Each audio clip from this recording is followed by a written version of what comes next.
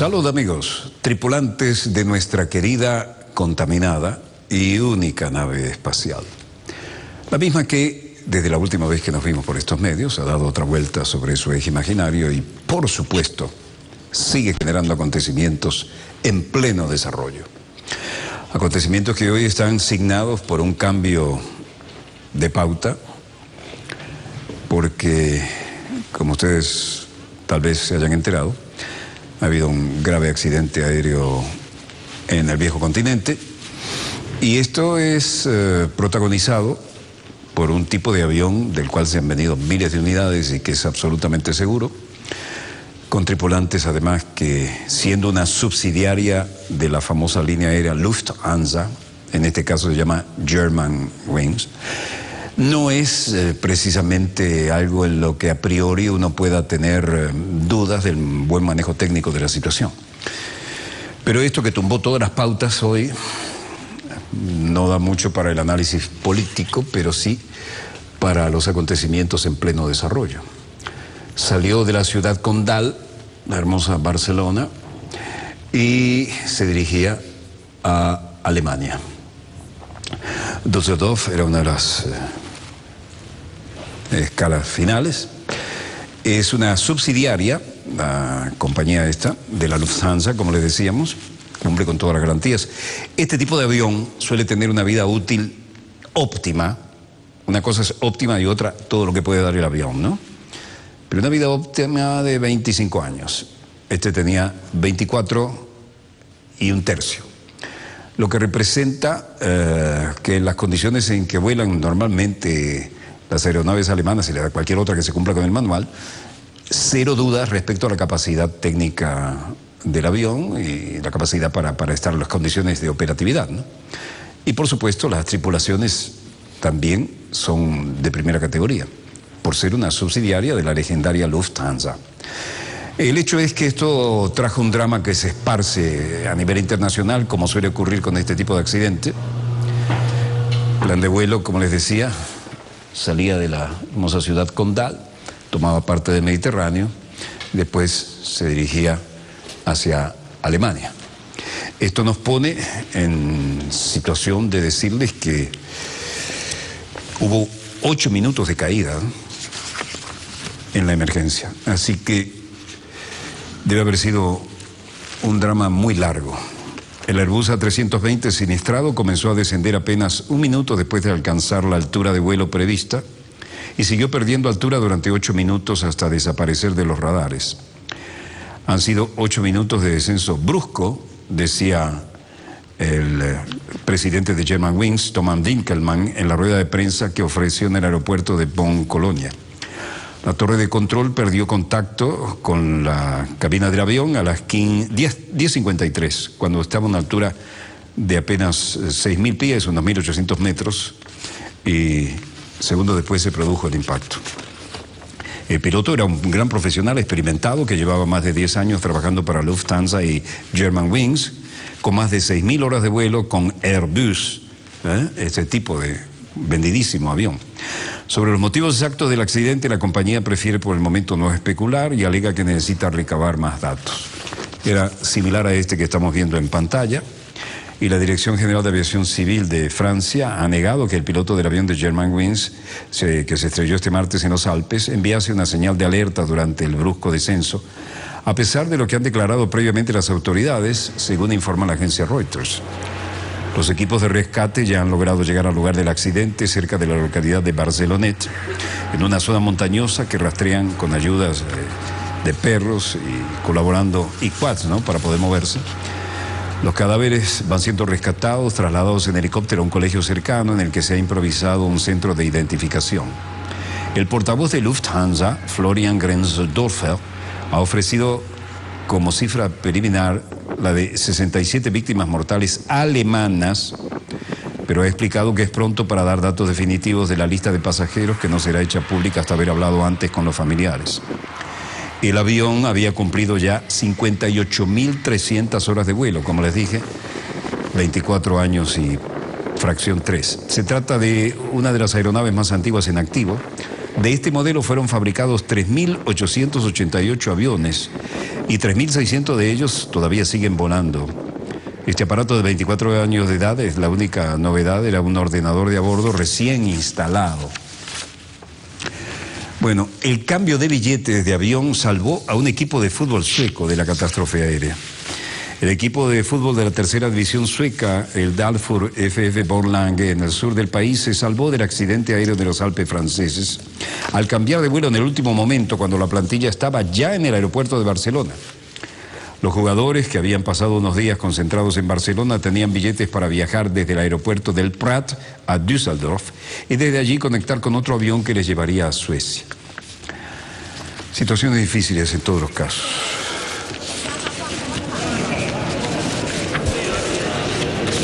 Europa conmocionada por el accidente aéreo en los Alpes franceses. En cuanto al número de pasajeros, es responsabilidad de la compañía Lufthansa, que aún no ha dado un comunicado oficial de cuántos pasajeros hay. Por tanto, los números que están barajando pueden ser reales o pueden ser ficticios. ¿eh? Yo esperaría un poquito al comunicado de la compañía para saber cuántas personas realmente viajaban a bordo y cuántos fallecidos hay. Así lo decían las autoridades cuando la noticia estaba en pleno desarrollo. Nunca llegaron a Düsseldorf lamentablemente. Y el vuelo 4525 de Barcelona ya no tenía estatus en el aeropuerto. El aparato, con capacidad para 180 pasajeros y como dijimos, 24 años de infracción de antigüedad, no es este el modelo, ¿no? es un tipo de jet ejecutivo que estaba ahí haciendo final. Según el gobierno español, 45 tenían apellidos españoles, en el avión viajaban dos bebés, 16 estudiantes alemanes de cuarto eh, de estudios superiores que habían estado en intercambio en la Yola de Linares del Valés, en Barcelona. Las imágenes habituales en los casos de los aeropuertos. La señal del avión se ha perdido a las 10.47 hora española, cerca de la región de Barcelonet, al sur de los Alpes franceses, después de despegar a las 9.55 desde Barcelona.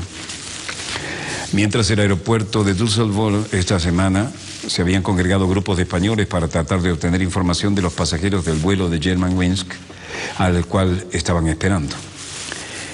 Las alturas hacían difícil reconocimiento de la zona y el cónsul de España en la ciudad alemana, Francisco Aguilera, ha explicado desde el aeropuerto que cuando empezó a extenderse la noticia del accidente aéreo, algunos españoles, familias enteras e individuos se acercaron hasta el lugar de destino del avión siniestrado bajo el impacto de la noticia en un ambiente muy sombrío y muy triste.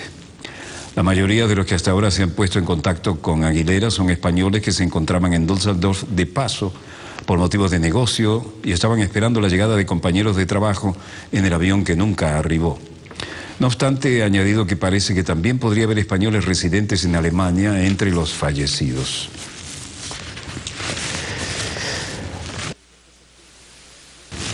Las imágenes de la zona del impacto, la gente tratando de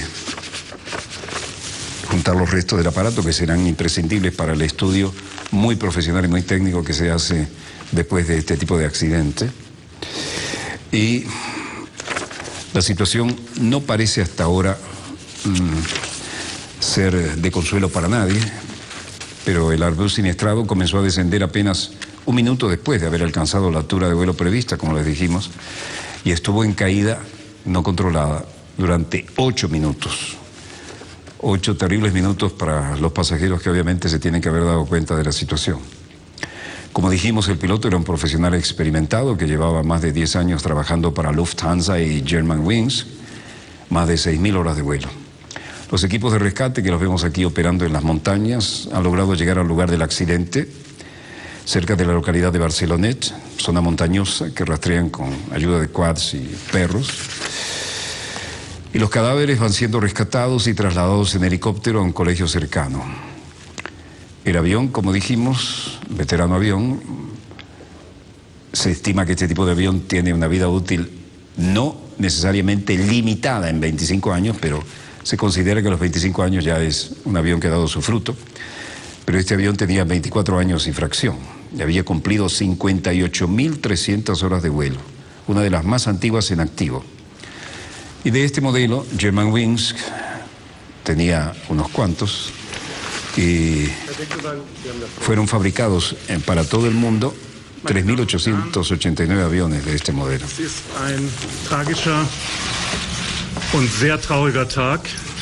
La primera imagen de los restos del avión caído son las que les acabamos de mostrar.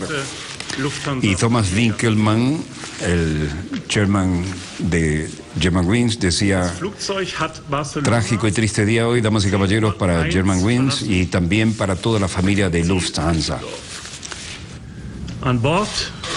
El avión salió de Barcelona para Düsseldorf en la hora local, la 0901 GMT, las 10 y un minuto hora local.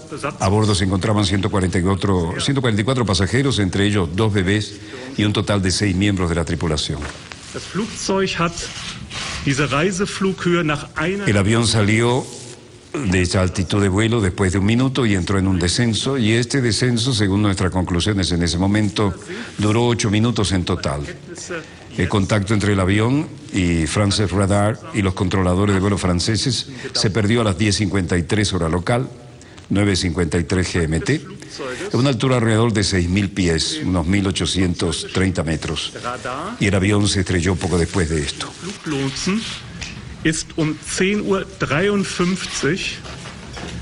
auf einer Höhe von circa 6000 Fuß abgebrochen.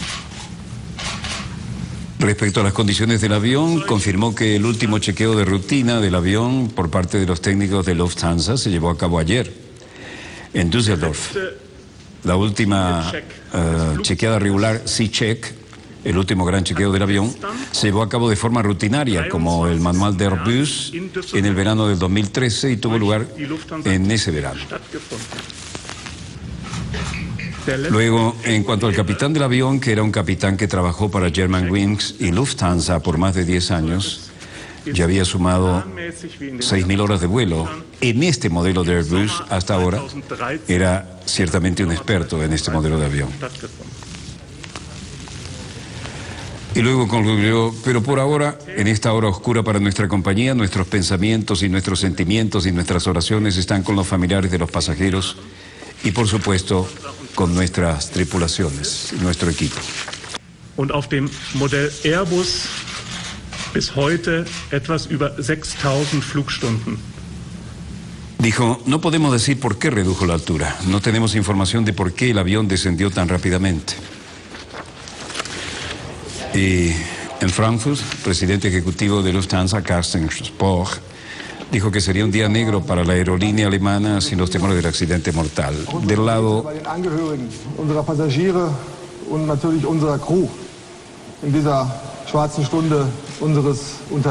El Airbus de la aerolínea de bajo presupuesto de Lufthansa Germanwings se estrelló en el sur de Francia, confirmaban todas las declaraciones.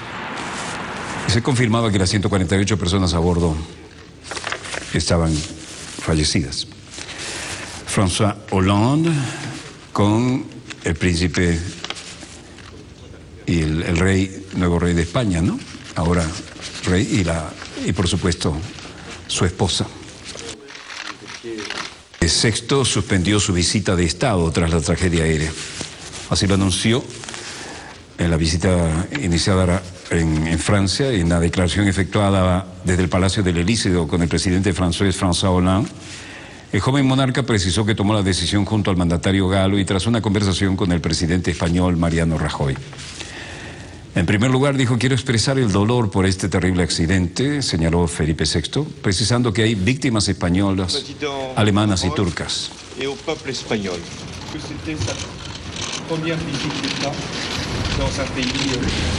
En primer lugar, pues quisiéramos eh, eh, todos, la reina, el presidente Hollande, el ministro y yo mismo expresar nuestras condolencias más sinceras de todo corazón a las familias que han perdido a sus seres queridos en este día. También quisiéramos transmitir nuestras condolencias, nuestro pésame a las autoridades alemanas y turcas por los fallecidos eh, de hoy ha tenido en el que ha ocurrido. Agradecemos. Y también eh, después de conversaciones con el presidente Hollande y con el presidente del gobierno español Mariano Rajoy hemos llegado a la decisión de, cancelar eh, el viaje, de suspenderlo y a la espera de poder encontrar fechas futuras en las que eh, continuar esta visita, en la que se había puesto mucho esfuerzo, mucho trabajo y mucha ilusión y toda la importancia que merecen las excelentes relaciones que mantenemos eh, es Francia y España en este momento. Por su parte, Hollande expresó también sus sentimientos más tristes a las familias de las víctimas y dijo que comprendía la decisión del monarca español. Et je veux ici exprimer au nom du peuple français euh, toutes nos condoléances Nuestras condolencias, nuestro afecto a nombre del pueblo francés, nuestra solidaridad al rey de España y su esposa, al primer ministro Rajoy y al pueblo español. Au président Rajoy et au peuple espagnol. C'est une terrible épreuve. Es una experiencia terrible y sé que hay víctimas de otras nacionalidades, sobre todo alemanes y probablemente turcas. Por lo que sabemos, no hay víctimas francesas, pero yo todavía no estoy del todo seguro al respecto de esto. N'y aurait pas de victimes françaises, mais je n'en ai pas encore la totale certitude. s'est écrasé dans des circonstances qui ne sont pas encore. La gran alfombra roja para las grandes ocasiones en la explanada del Elíseo y una deferencia particular, bajando hasta el nivel de la explanada para despedir a joven monarca y su esposa. De inmediato la agenda sí se atravesó. Bruselas, Bélgica, el vicepresidente del Parlamento Europeo, Antonio Tajani, decía. Observé un minuto de silencio por las víctimas de la tragedia aérea d'aujourd'hui. Antes de iniciar esta reunión, primero quisiera guardar un minuto de silencio por las víctimas de la tragedia aérea de hoy. Les pido ponerse de pie y dedicar una oración a los hombres y mujeres que murieron en un desastre que se produjo cuando un avión bajó durante su viaje entre Barcelona y Düsseldorf y cayó a tierra. Este minuto de silencio en el Parlamento Europeo en recuerdo de las víctimas del Airbus tocó a toda Europa.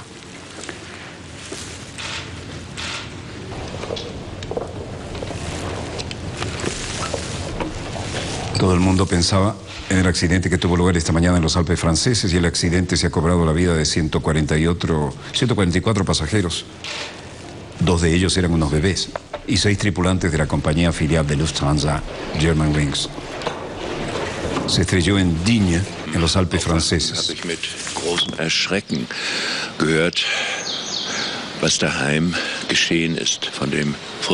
Lima, Perú, el presidente alemán Joachim Gauch decía, cuando me desperté hoy me quedé horrorizado al oír hablar del terrible accidente aéreo que había pasado en casa. Estoy profundamente entristecido como tanta gente en Alemania. Solo puedo imaginar el dolor, el horror y el dolor que ha afectado a las familias por lo que están pasando, pero me gustaría decirles, mis pensamientos y sentimientos están con ustedes, al igual que ellos y un sinnúmero de personas de Alemania también. El presidente alemán suspendió su viaje a Uruguay por la catástrofe. Desde Berlín, Angela Merkel decía, el accidente del avión alemán con más de 140 personas a bordo ha generado un shock que ha sumido a Alemania, Francia y España en el más profundo luto.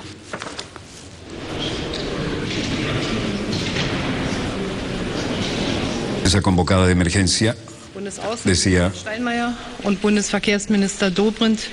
el ministro de Relaciones Exteriores de Alemania, Frank-Walter Steinmeier, el alemán y el ministro de Transporte, Alexander Dobrindt, volarán a la región esta tarde y voy a viajar allí mañana para conseguir mi propia impresión y hablar con los funcionarios locales. El primer ministro de Renania del Norte-Westfalia, Hannelore Kraft, me acompañará. Angela Merkel confirmó que la caída del avión es un shock y nos ha llenado de consternación y profundo dolor. Esto ha afectado no solo a Alemania, sino a toda Europa. En Bruselas, el alto comisionado europeo para el transporte, Violeta Bulk, decía.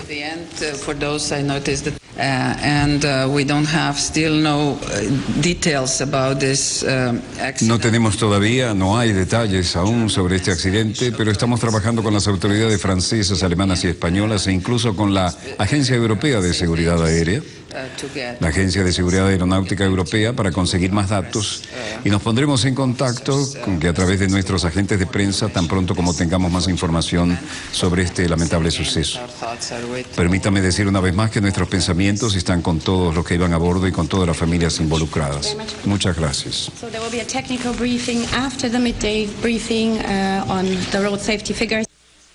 Las autoridades de la Unión Europea expresaban así su pesar por el accidente del avión de la compañía alemana de bajo costo Germanwings, filial de Lufthansa.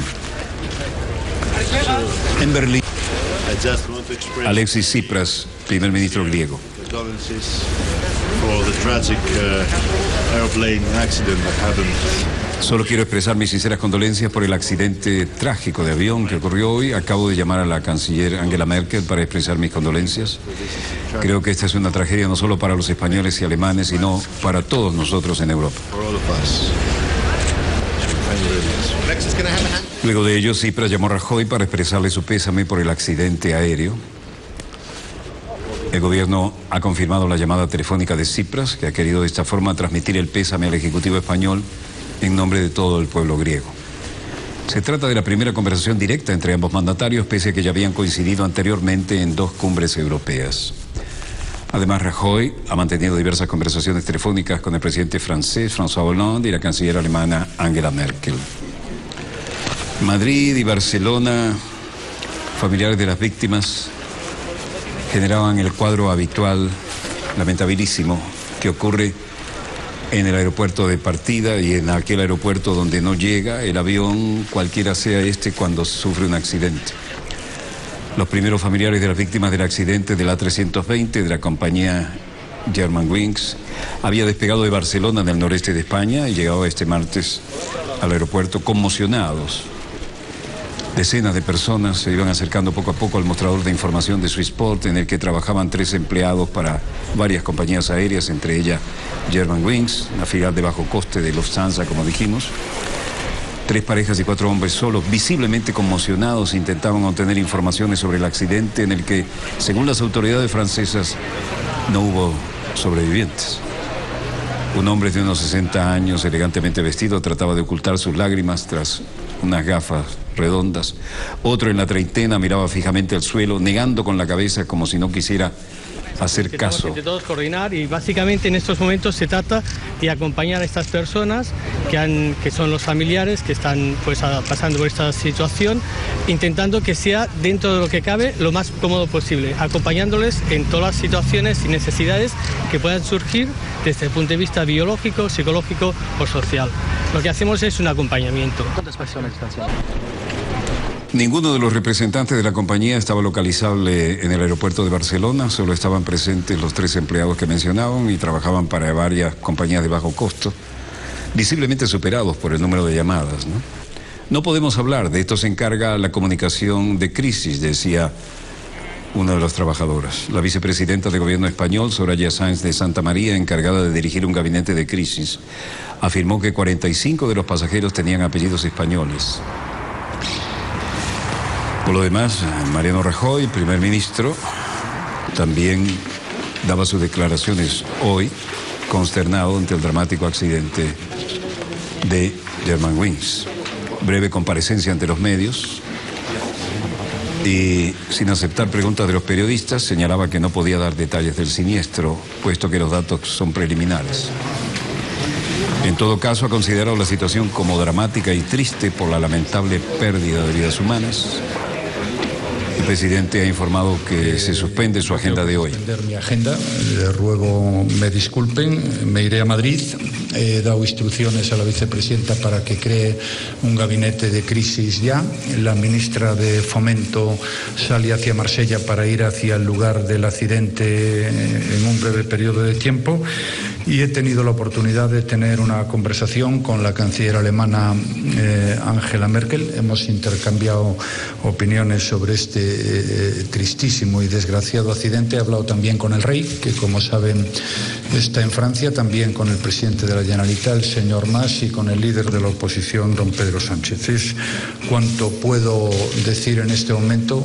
Realmente lo único que puedo y debo decir es que lamento como, como todos eh, este tristísimo eh, y dramático accidente y vamos a hacer todo cuanto esté en nuestras manos eh, para ayudar en la medida en que ya eso sea posible a las familias y para darnos todo nuestro apoyo y nuestra atención. Señoras y señores, espero que entiendan ustedes que no puedo hablar de otra cosa diferente de la que acabo de hacerlo. Muchas gracias.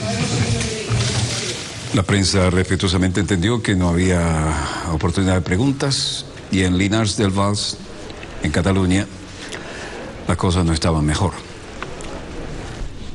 Una misa por los que fallecieron en el accidente, también por esta ciudad cercana a Barcelona, que fue hogar de los estudiantes alemanes que murieron en el accidente, la iglesia de Linares del Vals.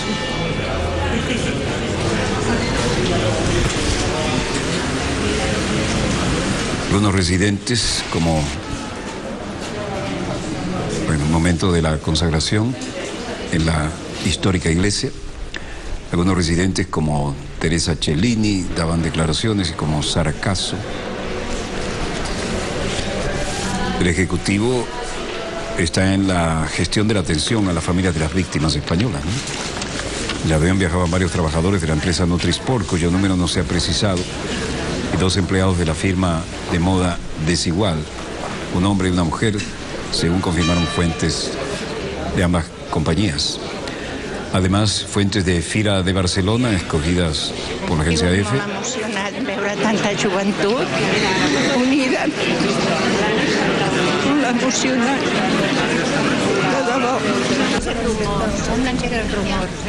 Eso decía Teresa Cellini y Sara Caso también daba su opinión. Muchos estudiantes fueron per a la missa. acompanyar aquests eh, companys dels nois que han mort, que estan molt, molt impressionats. Si coneixem algunes famílies que l'han tingut, Sara Caso decía en catalán, estamos aquí para dar apoyo a los compañeros de clase, aquellos de los que murieron en el accidente. Están en shock. Vamos a darles nuestro apoyo, todo nuestro completo apoyo y lo que podamos hacer por los muchachos estudiantes que perdieron a sus compañeros en ese vuelo. Por otra parte, el sindicato UGT en DEFI ha precisado que entre los pasajeros hay dos empleados de la planta y esta compañía tiene en San Cugat del Valés, en Barcelona. Pasajeros eran de Lorca, Valencia y Jaca. Y entre los pasajeros de avión figuraba un vecino de la localidad murciana. Sobre este particular hay una noche de velar penas y ciertamente toda Europa está en shock. Las, pautas han sido cambiadas para entrar en este inesperado y desagradable accidente. Eh, no veo en las pantallas de los satélites que monitoreamos mientras estamos al aire con ustedes algo que mejore lo que les estamos mostrando, más bien están un poquito detrás de lo que acabamos de informar. Así que haremos un breve corte y volvemos con más acontecimientos en pleno desarrollo. No se muevan, ya volvemos.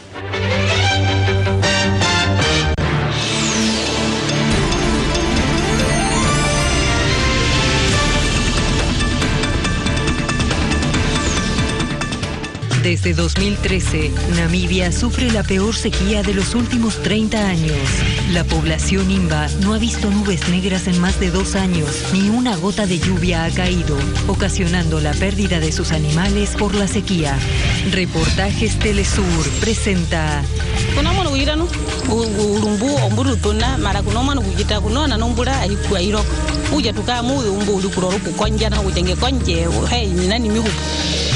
Namibia.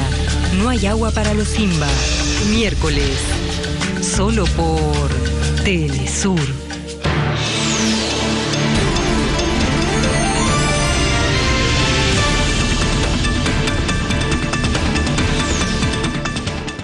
Volvemos con más acontecimientos en pleno desarrollo y después de esta tragedia, quiero decirles al menos un aspecto menos dramático.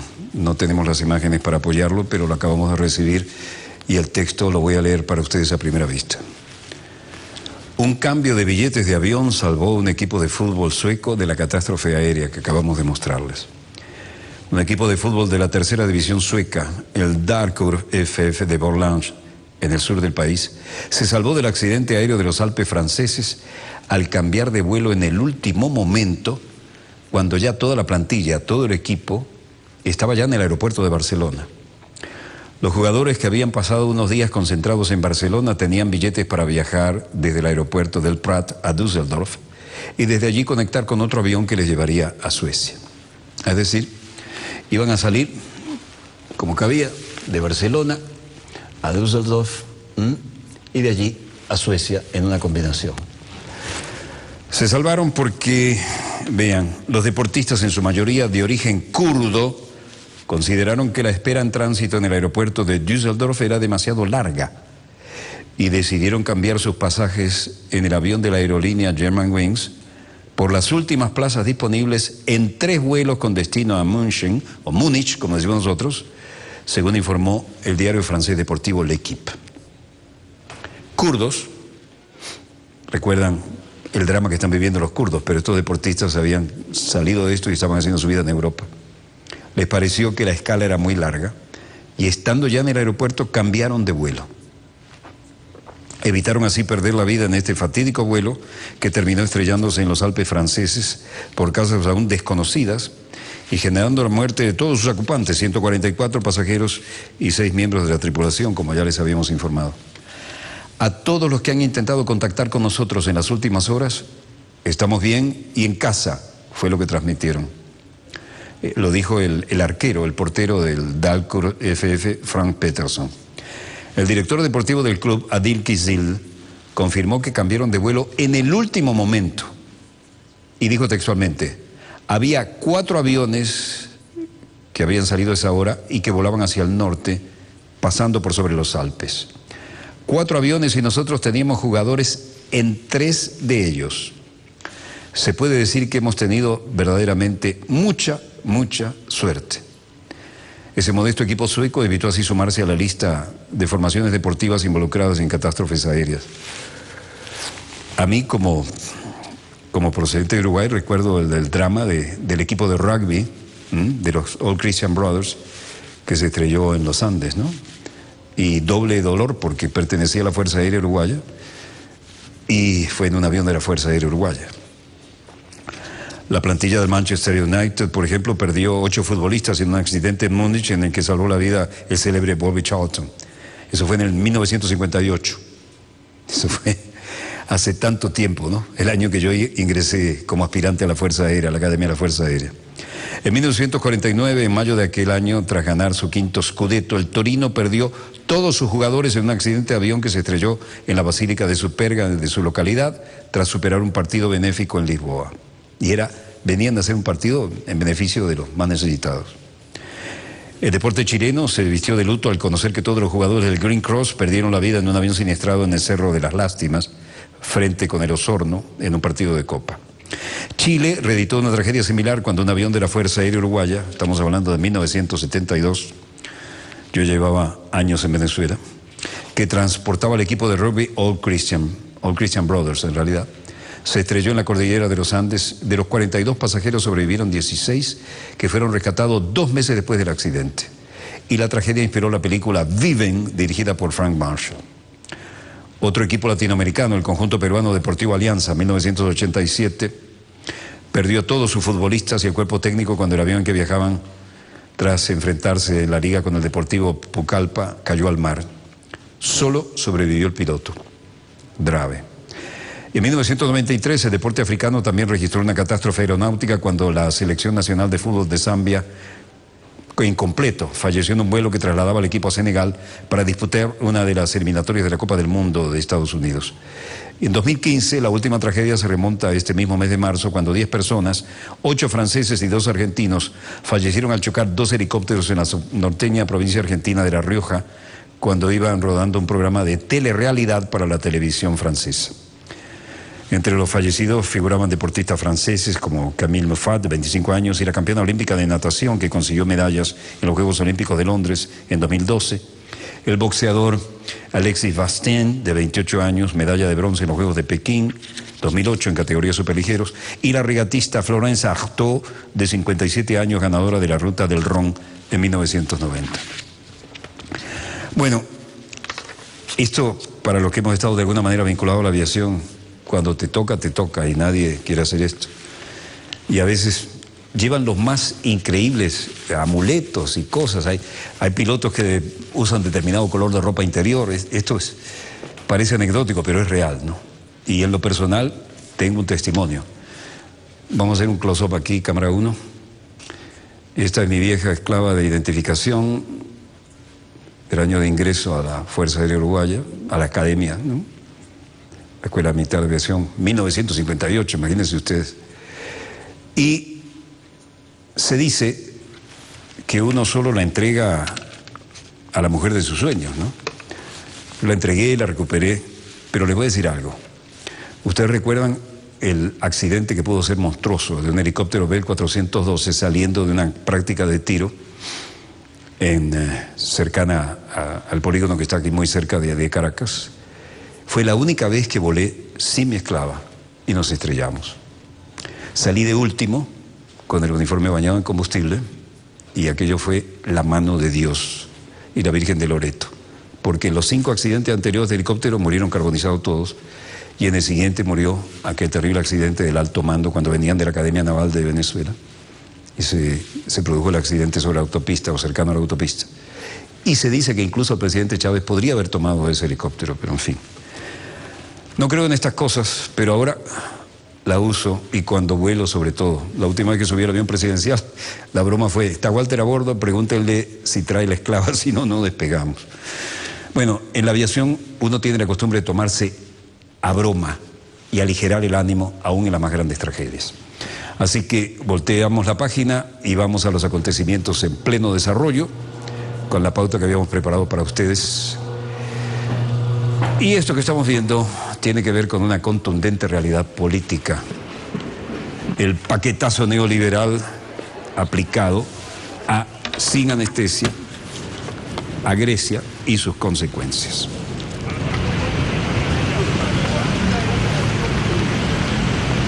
Estamos en Atenas, obviamente.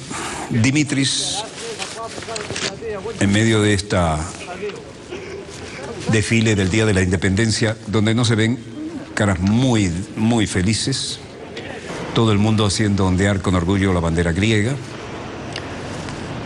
la prensa dando a entender cómo están las cosas en Europa, y Tsipras ahí, se lo acabamos de mostrar, ¿no?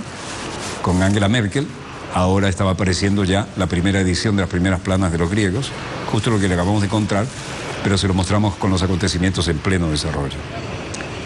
El hielo se rompió, dicen algunos de los titulares Arreglo para cohabitación, dicen otros.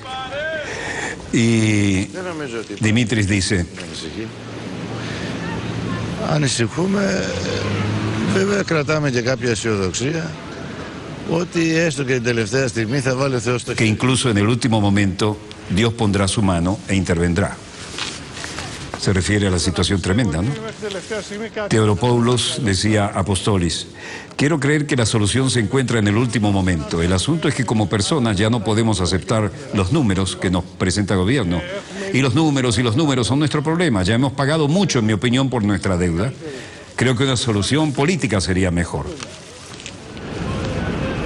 De aquí, frente al Parlamento, estamos a una orilla de la Plaza Sintagma, y Teodor Crintas, un analista financiero, dice, I believe that the markets will, uh, will accept with um, pleasure yesterday's meeting by the fact that um, the Mercados van a aceptar con placer conocer ayer eh, por el hecho de que las relaciones entre los dos países están disminuyendo. Estoy esperando los mercados y un saldo positivo en la actualidad, ¿no? Eh, creemos que en cualquier caso, bueno, este es uno de los que nos sufre la crisis, ¿no? Pero creemos que en cualquier caso saldremos adelante.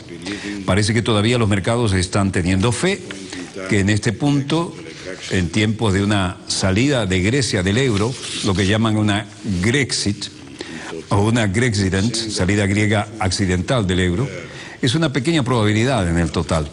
Estoy diciendo que ya que si comparamos el nivel de la Bolsa de Atenas, por ejemplo, aquel de 2012, cuando la situación, la discusión acerca de la salida de Grecia de todas las normas económicas fue más importante, ahora los niveles son completamente diferentes.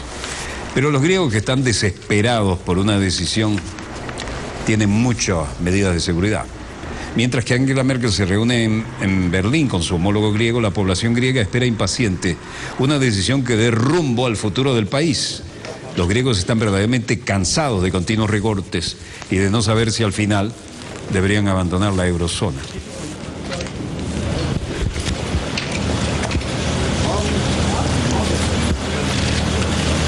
Berlín,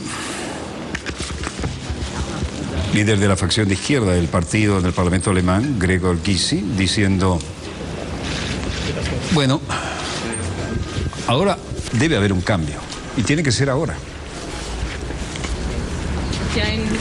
Es muss jetzt einen Wechsel geben. Im Übrigen möchte ich mal auf Folgendes hinweisen. Wenn die Regierung, was También me gustaría señalar lo siguiente. Si el gobierno tuvo, como algunos lo han exigido, y continuó haciendo lo que el gobierno anterior había hecho, entonces nosotros podríamos llegar a abolir las elecciones. La gente votó de manera diferente por una política diferente y no para continuación de lo que los conservadores y socialdemócratas provocaron en Grecia. La gente quiere un cambio.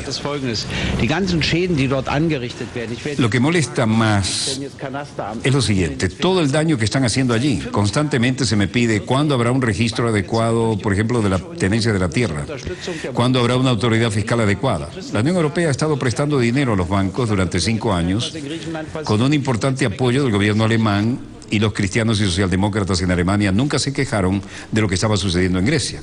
Ahora de repente se quejan, son niveles completamente diferentes. Mientras tanto, Cipras, como le dijimos, se reúne con la oposición alemana tras cinco horas con la jefa de gobierno Angela Merkel. La canciller y el primer ministro griego tuvieron una conversación clara, contundente sobre la situación en Grecia en una atmósfera constructiva, dijeron. Pero la situación hay que verla con cuidado. El ministro de Relaciones Exteriores, en Alemania el canciller es el jefe de gobierno, recuerden. Ministro de Relaciones Exteriores, Frank-Walter Steinmeier, en Berlín, para reunión de alto nivel, dice que la atmósfera en las relaciones entre Grecia y Alemania ha mejorado significativamente en los últimos días. Y las declaraciones son como para ayudar en lo posible a la situación en Grecia. Como siempre, Cipras, sin corbata, hizo la concesión de ponerse un traje por lo menos, mantiene su estilo. Conversaciones que en este caso y con las cámaras delante nunca entraron a fondo en la verdadera agenda, ¿no? pero posaron con sonrisas ambos como para dar ánimo a los griegos y a los que dependen de que eso se solucione. Uh, relations. Lo importante fueron las declaraciones que vinieron después. Este era un clima distendido, premeditadamente distendido, pero la gente seguía esto con verdadera lupa, ¿no? O con microscopio. El ministro de Relaciones Exteriores de Alemania, Steinmeier, dijo, me complace que la atmósfera en las conversaciones germano-griegas en los últimos días ha cambiado y ha cambiado para mejorar significativamente. Todos sabemos que esa no es la solución para los problemas financieros de Grecia. Y son verdaderamente fuertes los problemas que Grecia financieramente tiene que superar. Genau. Zunächst einmal freue ich mich darüber, dass sich die Tonlage in den deutsch-griechischen Gesprächen in den letzten Tagen deutlich verändert, deutlich verbessert hat. Äh, Wir wissen alle sehr genau, das ist äh, noch nicht die Lösung für die finanzpolitischen Probleme. Pero es sin duda una condición previa para comenzar serias conversaciones en los próximos días. dass man sich in den nächsten Tagen jetzt in ernsthafte Gespräche miteinander Luego, a otra pregunta, vean que todo el mundo estaba pendiente, ¿no? Porque Grecia puede hacer mucho daño en la, en la economía europea. ¿no? Am Las dos visitas del ministro de Asuntos Exteriores griego el domingo y el primer ministro griego hoy contribuyeron a una interrupción de la falta de armonía en las relaciones bilaterales germano-griegas. Ähm, jedenfalls nicht weiter in die Zukunft getragen wird. Luego a otra dijo, traté de asegurarme que hoy, el domingo, durante las conversaciones con el canciller griego, que los problemas financieros de Grecia puedan ser discutidos en las conversaciones Europa-griega in der y no dar la impresión, especialmente en Grecia, de que todo lo que se puede aclarar en las negociaciones germano-griegas está perfectamente aclarado ya. Ese no es el caso, todo lo contrario. Pero en todo caso queremos asegurarnos de que los problemas financieros de Grecia no dañen las relaciones entre Alemania y Grecia. Sorge dafür treffen, dass das deutsch-griechische Verhältnis nicht beschädigt wird durch die Probleme, die es hier zu lösen gilt. Observen los guardaespaldas, ¿no? Atentos y rápidos. En todo caso, el ministro de Relaciones Exteriores de Alemania ve que mejora el tono entre Atenas y Berlín. Seguimos en Berlín. Los periódicos reflejan el tema y hablan de relajamiento de las tensiones. Y vean la famosa antena, eso es de la época de Berlín dividido, ¿no? Esa era la antena de la televisión de Berlín Oriental. Era espectacular estar allá arriba, entre las nubes. Sigue siéndolo. Bueno, la prensa reflejaba hoy este tema que estaba siendo manejado con mano izquierda, pero que tiene de cabeza a la economía alemana pensando que va a pasar en Grecia. ¿no? Vean esa expresión en la mirada, no fue casualidad esa foto del visitante Tsipras. El hecho es que los especialistas eh, y algunos que entendidos que reclaraban hoy en la calle decían como Frank Leopold todavía hay algunas cuentas pendientes en cuanto a las cosas eh, que se hablaban desde 1933 a 1945 ¿no? están hablando de las deudas y compensaciones con motivo de la Segunda Guerra y Alemania tiene que pagar eso hubo un préstamo oficial que no haya eh, sido devuelto esto no es nada que ver con los pagos de reparación por los temas de la Segunda Guerra es otra cosa Creo que Alemania debe contenerse un poco. Si no tuviéramos socios fuertes después de la guerra, no estaríamos hoy donde estamos. La economía de Grecia se basa puramente en la agricultura y el turismo y necesitamos socios fuertes. Y Dieter dice, dar asistencia, ¿por qué no? Pero tiene que ser un toma y daca. No puede ser que uno siempre está tomando, pero nunca da nada. Creo también que debe haber más justicia en ambos lados. Creo que estamos juntos en Europa y los griegos juegan con las reglas entonces voy a mostrar, voy a esperar resultados. Volvemos a Frank Leopold y dice, creo que esto es muy importante darles un aumento de moral en este momento. ¿Por qué? ¿De qué sirve el dinero si creen que nadie en Europa confía en ellos? También hay que apoyarlos moralmente. Para decirlo sin rodeos, debemos darle fuerza y mostrarles maneras de ir hacia adelante. Muestra, pero no la imposición, pero mostrarles, tal vez llevarlos de la mano y caminar con ellos un poco. Y Laura Müller dice, hicimos lo suficiente para ayudarlos ya. Tal vez la culpa es de los gobiernos que no funcionan. Tal vez deberían hacer algo un poco más por sí mismos, ¿no? Bueno, el hecho es que las relaciones están en un punto difícil. La situación de Ucrania se veía hoy en Washington en una moción para suspender algunos cambios importantes, ¿no? De reglas. Ileana Ross Letinen, ¿eh? representante de la Florida, la loba feroz.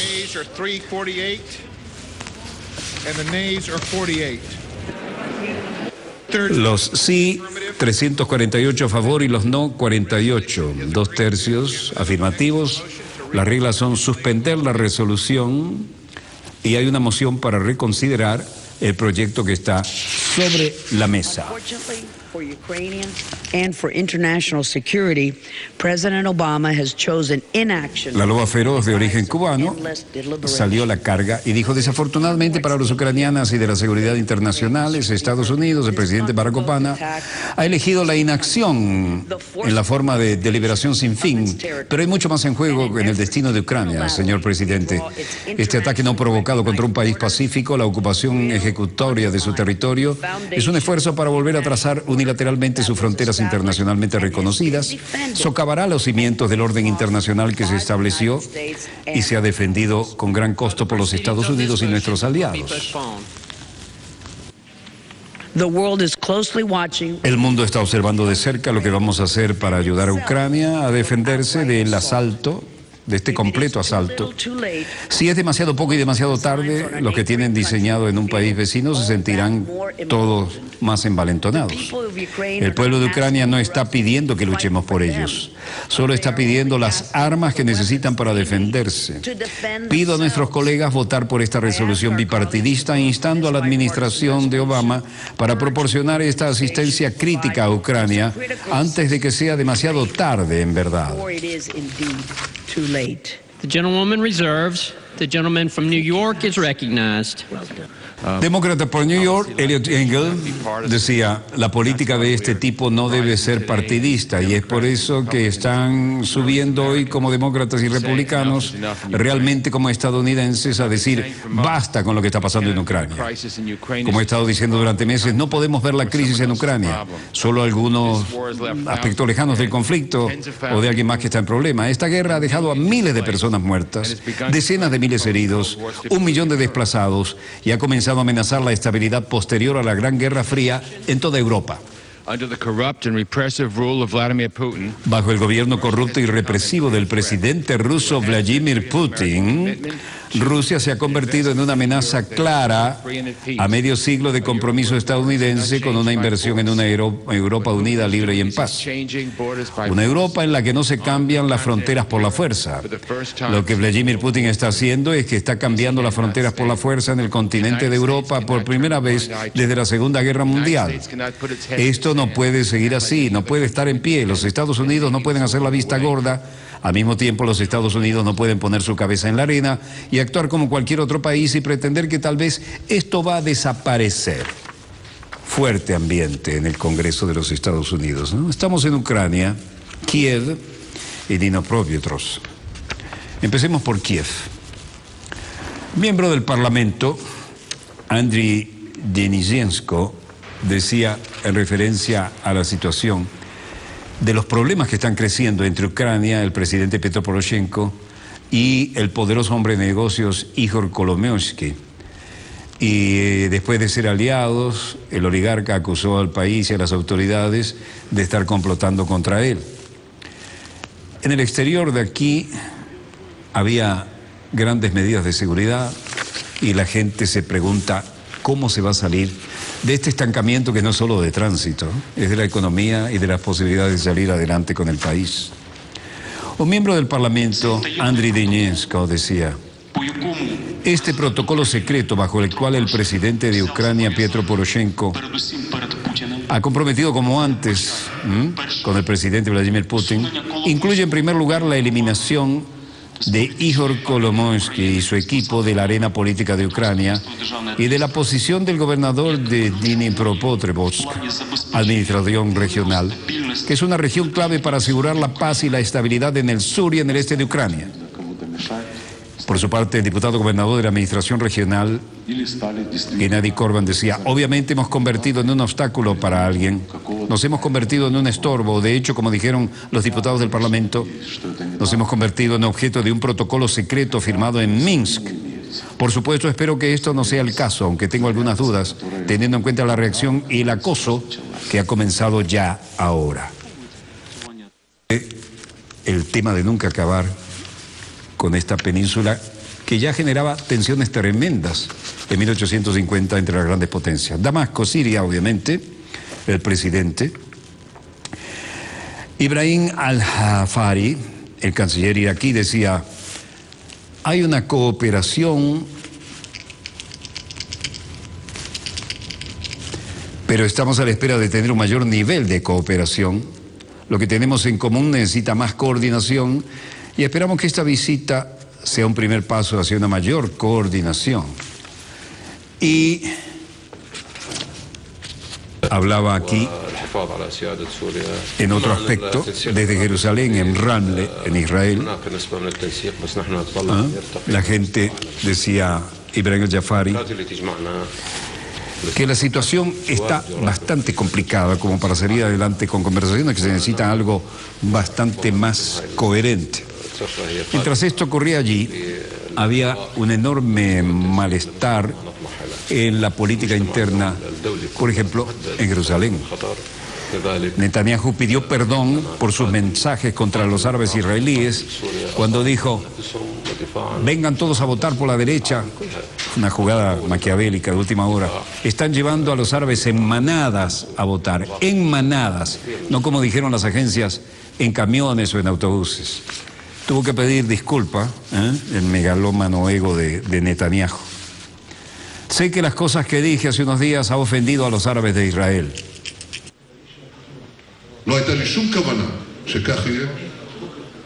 אני מצטער על כך. Vean que no improvisa, a él que le encanta improvisar. Está pisando baldosas flojas. Lee. No tenía intención para que esto sucediera y lamento eso. Mis acciones como primer ministro, incluyendo las grandes inversiones en los sectores minoritarios, quería demostrar lo contrario. Igualmente creo que está prohibido que cualquier cuerpo extraño vaya a intervenir en los procesos de nuestra democracia. Me considero como primer ministro de cada uno de ustedes, de todos los ciudadanos de Israel, independientemente de su religión, raza o género. Esa es la forma en que estaba y ese es el camino que voy a seguir.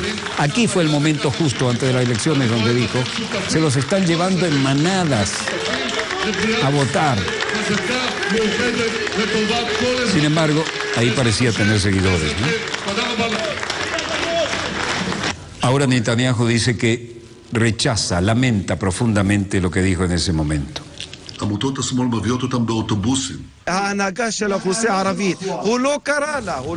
Y luego los opositores dijeron, estamos cansados de que él haga estas cosas, esto fue una maniobra y le faltó el respeto a nuestros ciudadanos árabes, diciendo ciertamente que ¿eh? los estaban llevando como animales, en manadas. Donde dijo manadas de árabes, dice ahora comunidad árabe israelí después de haber reventado la campaña con su promesa de no reconocer al Estado palestino, el primer ministro israelí Netanyahu movilizó hace una semana a los partidarios en la jornada electoral.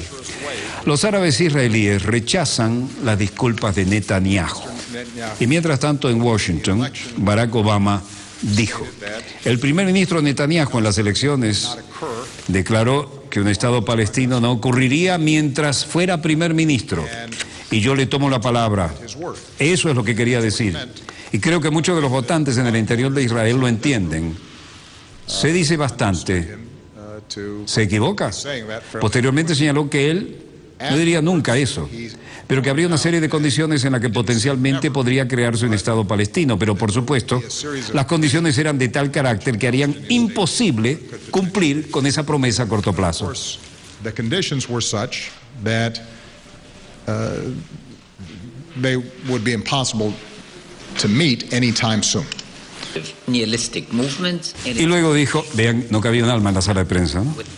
Así que incluso si lo acepta, creo que el correctivo del primer ministro Netanyahu en días posteriores, ¿eh? lo que trató de corregir después de, le faltó decir después de haber puesto la torta, ¿no? todavía no parece ser una perspectiva de un marco significativo. Estableció que daría lugar a un Estado palestino, es decir, giró 180 grados o 90. Incluso se había toda una serie de las condiciones y requisitos de seguridad que podría ir introduciendo gradualmente durante un largo periodo de tiempo.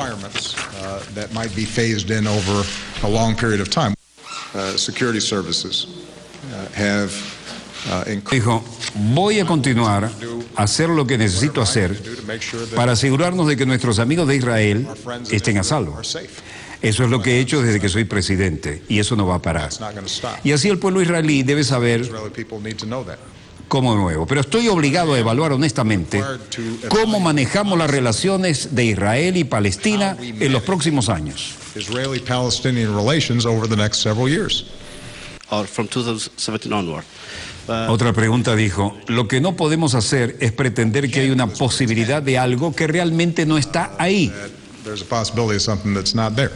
Uh, and, and we can't continue to premise No podemos seguir la premisa de nuestra diplomacia pública basada en algo que todo el mundo sabe que no va a suceder, por lo menos en los próximos años. at least uh, in the next several years. For uh, A otra pregunta muy personal, respondió, um, I have tengo a- una relación muy formal con el primer ministro de I Israel. met with him more than Me he reunido con él más que con cualquier otro líder mundial. Puedo hablar con él todo el tiempo. ¿Usted sabe? Él está representando los intereses de su país, uh, la forma en que él cree que tiene que hacerlo, y yo estoy haciendo lo mismo de mi parte. uh, Así que el problema no es una cuestión de las relaciones entre los líderes. La cuestión es muy clara. El desafío es de fondo. Creemos que dos estados es el mejor camino a seguir para la seguridad de Israel por las aspiraciones palestinas y la regional aspiración a la estabilidad. Esa es nuestra opinión y sigue siendo nuestro punto de vista. Y el primer ministro Netanyahu tiene que conseguir un enfoque diferente. Uh, Tiene un enfoque diferente. En suma, Barack Obama ha dicho, que es difícil concebir la creación de un Estado palestino en los recientes comentarios de Netanyahu. Importante recordar las siete frases ¿eh? de Felipe González contra Nicolás Maduro después que venía aquí en este plan tan amigable en otros tiempos, ¿no? El exmandatario español explicó su plan hace poco más de dos semanas en una conferencia en el Think Tank de los Estudios Internacionales y Estratégicos en Washington. Ya no es muy socialista, ¿no? Cuando venía aquí nos tuteábamos. Me acuerdo que una vez nos encontramos, andaba por Centroamérica con una guayabera muy elegante y me dice, hola Walter, ¿quieres que te reclare? No, mira, estoy apurado con una pauta, estamos metidos en un lío. Luego, ese trato, cuando llegó al gobierno, tuvimos seis horas una vez esperándolo en la sede del partido y cuando salió, hola, hola, salió, hola, sí, sí, sí, dirá, llevo seis horas esperando por una declaración, tú me la prometiste, tuve que meter el micrófono en la puerta para ver si decía algo y no dijo nada.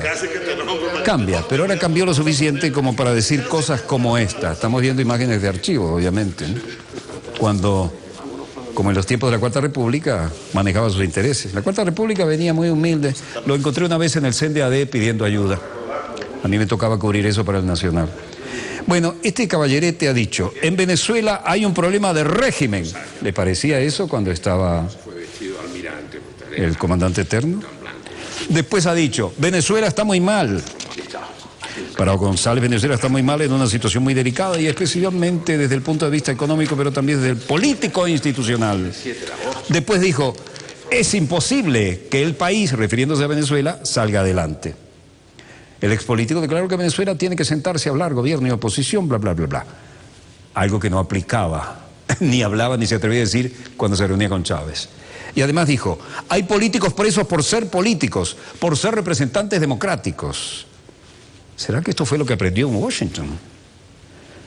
Y por ahí se fue. El marco institucional de Venezuela no permite que se encarcele a un representante poniendo en crisis la democracia representativa. Claro que no.